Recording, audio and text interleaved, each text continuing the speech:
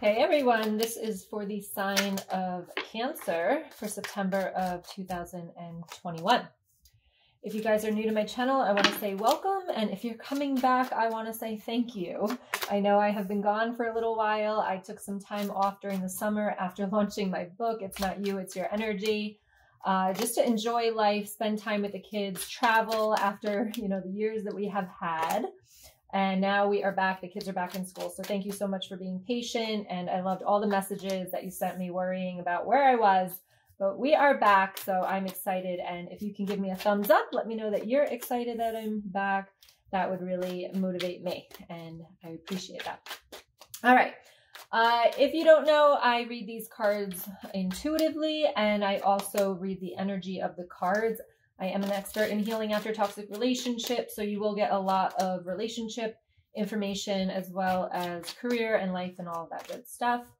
And I do have a three-day challenge starting on Monday, September 6th, uh, September 13th, to heal your childhood trauma. So if you feel as though you've been attracting toxic relationships, you have abandonment issues, daddy or mommy issues, all of that stuff we're going to be talking about in the challenge starting on Monday. You can find the link in the description box and also in the comments below.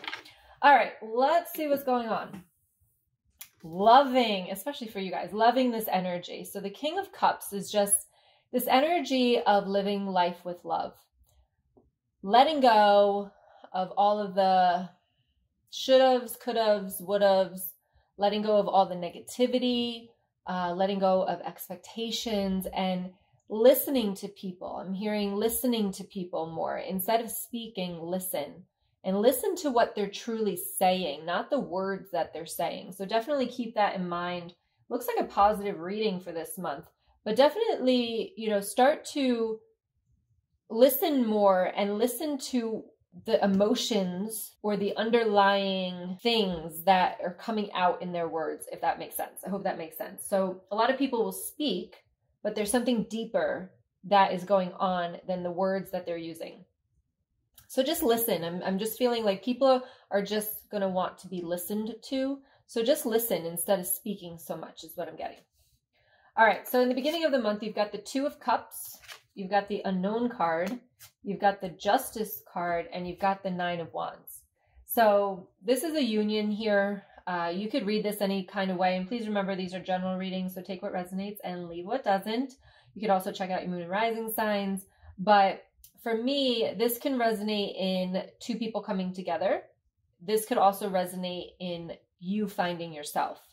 Um, sometimes this is like a higher self card for me as well as like connecting more to your higher self, to this energy that your intuition more. But you've got this unknown card with the Justice and Nine of Wands. I feel like there is a block around this right now. So there might be something that you're resisting around this union because maybe there is an unknown uh, aspect of it. And maybe you feel as though you deserve better and kind of like standing your ground here. But I feel as though with this unknown card, like you can drop your guard a little bit. Again, the love here. So somebody somebody might be saying something to you, but the words aren't matching what you're feeling inside. And we want you to trust that, that intuition, because you even got the star card here. So really trusting your intuition is important this month to be able to kind of decipher what's real and what's not. If that makes sense. You don't have any shady cards here, so I don't feel as though there's anything shady happening. But I just feel like you deserve more. Um, and there's a power within you that you might not see. And maybe you're scared to kind of access that power.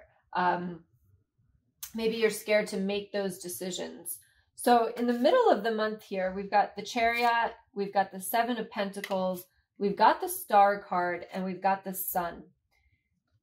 I feel like this month is a journey for you. I just feel like it's a healing process. Um, maybe there's steps that you're taking, or maybe there's programs that you're in, or maybe you're going back to school, something like that. But I just feel a progression is what they're making me feel. Like you're just progressing through, you're stepping up, you keep stepping up.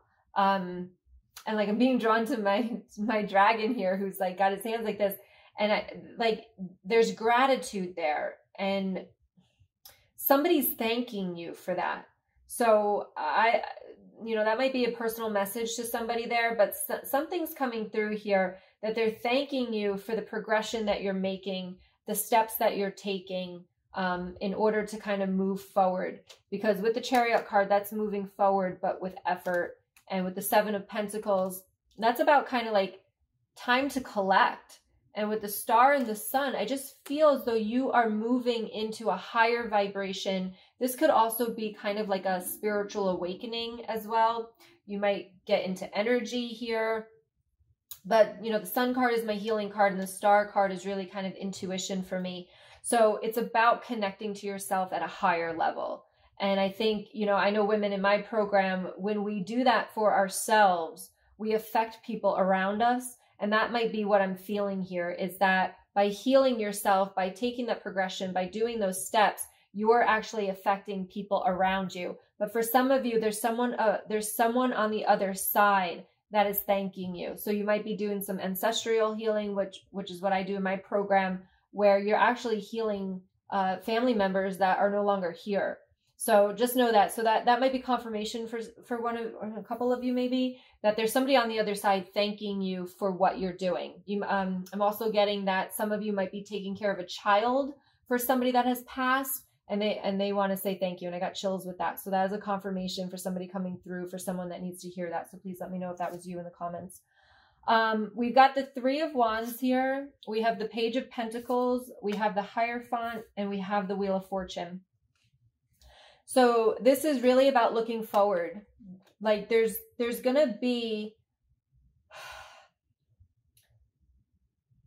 I feel as though this is about looking forward and taking the downtime that you need will cause a long-term commitment of a long-term effect of um, like with the wheel of fortune it's about turning the wheel and making things go. So don't feel as though you have to do all these things in order to get what you want. Like we go back to the law of attraction manifestation where you could actually do less and get more so just don't forget that this month because it's time to look forward, but you don't have to do so much. You just have to be committed to what you believe, what you want, and then things will start rolling, is what I'm getting there.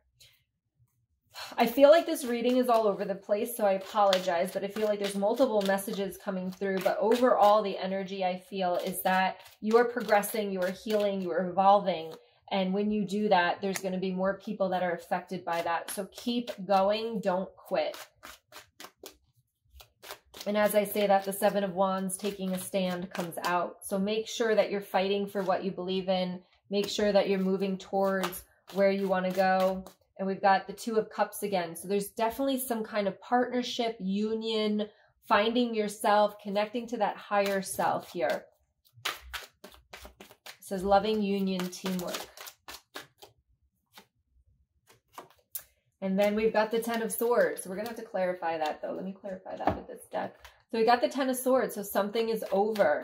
So maybe there's something brand new starting when you when you finally let something go here.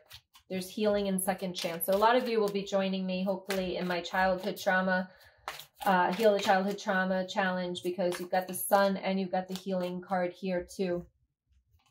And you've got the Fool, which is taking that leap of faith. Two of Wands, you can go either way. You can just keep living your life the same way, getting the same results. Oh my gosh, yeah. The same results, um, or you can do something different. And with the Eight of Cups, this cup is this card is always to me about walking towards something better. It's about leaving the the leaving what you no longer serves you behind and walking towards something better. So I absolutely love that. All right, let's see what is happening here what question of the month do we need? Hmm, love this card. What can I burn? burn it, burn it all. The ugly lies, the pain, the shame, the criticism. The images that run through your head, the reminders of what you did wrong, and the proof that you are not enough. Burn, baby, burn. Your soul is calling. It's time for a rebirth. You are like the phoenix rising from the ashes, no longer attached to the past. You are free. Your wings are ready. Use them. Today's soul action. Make the choice that you will no longer let the past define you. Pick up your pen. What will your next chapter look like? So, all those things, that's our human mind, that's our ego. Our ego to me is edging greatness out. It's it's literally tuning out your intuition. Where's the intuition card? This intuition here. It's tuning it out because when we have so much in our mind, that chatter that we have, we can't listen, we can't feel, we can't see our intuition. So therefore, all we have is our human voice going back and forth, back and forth. But when you're ready to burn all of that, when you're ready to truly heal, you let go of that chatter and then you can connect to that intuition. So your soul is calling and it's time for a rebirth. So this is confirmation and more healing for you. And pick up your pen and what will your next chapter look like? You do not have to settle for where you are right now.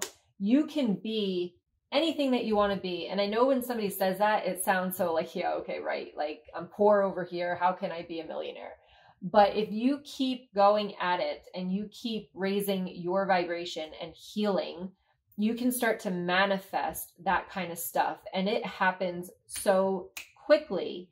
So, whatever doubt that you have in your mind that you're stuck where you are, you can always get unstuck. You can always get unstuck, okay?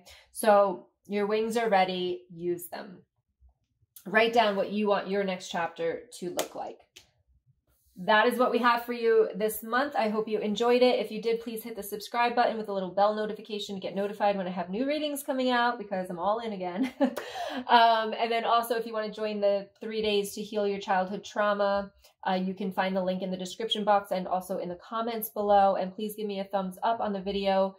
Leave some comments. Let this go out to more people. It helps helps the algorithm on YouTube. So if you could do that, I would truly, truly appreciate it. Much love to all of you. I hope you have a wonderful month, and I'm excited to see what's up for you next month when you're connecting to that intuition. Much love. I'll talk to you soon.